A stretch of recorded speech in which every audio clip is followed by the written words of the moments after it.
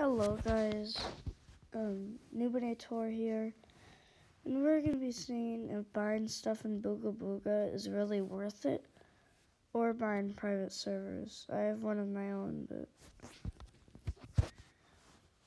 because, well, first of all, if you buy a private server, I'm probably done for buying one. If you play on PC, um, I don't know if there's one for mobile, but you're able to get this app that lets you just automatically go to a page of servers. So you can go to a server with like three or two people in it. There's, I don't think there's ever one you're able to join one with. And then, plus, here, spending money out. Because, yes, you can get the Game Pass for any, like, like, I, I don't know how to describe it. New hair and crap. I already have that like that and stuff. But is that worth it too? I, like, I, I just like it because you can, well, do all this. You can get these editors, things. But is buying stuff worth it? I mean, you have to be a certain level to get certain stuff you want to get.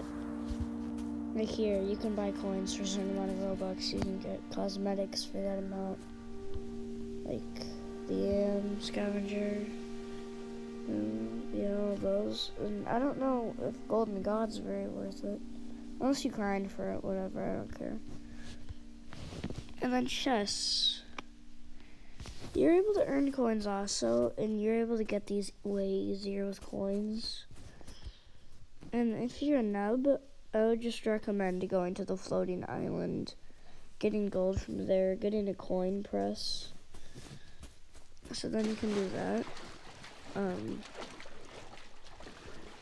that's why I recommend not buying much stuff for this game. If you're mobile, you could buy a private server, I don't care. If you're on PC, why do you need one? You can just go to the last server. You know. That's it. Uh, see you guys in the next video. Hope you like, subscribe, and enjoy. And comment down below if you think it's worth it buying chests and stuff.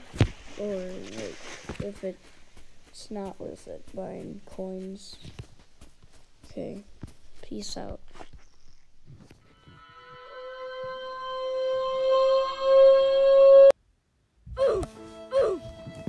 Okay guys, just want to give a shout out to Elite Hell and Tactic. They've helped me with YouTube so far and have gave me shout outs, so see ya.